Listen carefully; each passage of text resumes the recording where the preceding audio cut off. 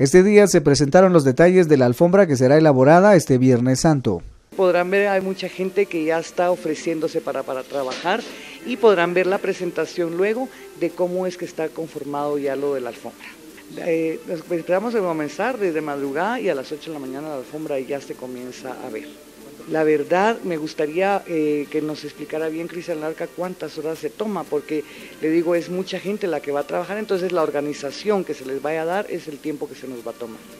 Pues sí, un mensaje para que nos solidaricemos todos en estos, en estos días tan solemnes para que Saltenango, que hagamos una unión y que miremos que todo en conjunto se puede. Dentro de la organización se encuentra Casa de Cultura de Occidente. La actividad se está desarrollando toda una logística, de manera que la alfombra pueda ser vista por, por todas las personas que sí lo deseen.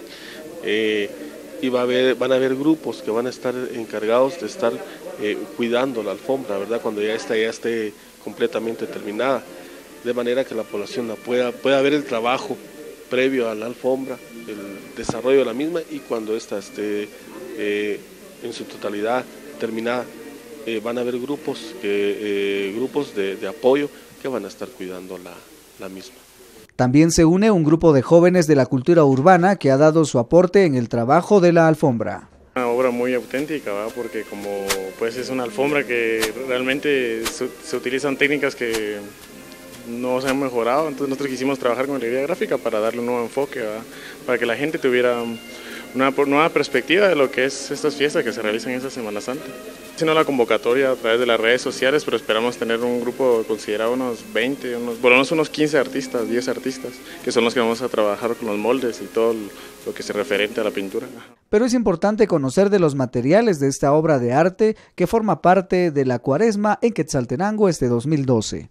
Vamos a hacer eh, totalmente originales en lo que va a ser el, el diseño. Eh, vamos a trabajar eh, color monocromático, eh, vamos a trabajar lo que va a ser el color negro y el color natural del acerrín. Esto lo hacemos a base como significado de luto. A trabajar, vuelvo a repetir, es el acerrín y vamos a trabajar unos lienzos de, lona vinílica mate, como también los, lo que son moldes moldes totalmente originales, eh, para serte muy honesto, pues van a ser eh, diseños únicos que han, que han, salido pues de todos los artistas de acá de Quetzalterango.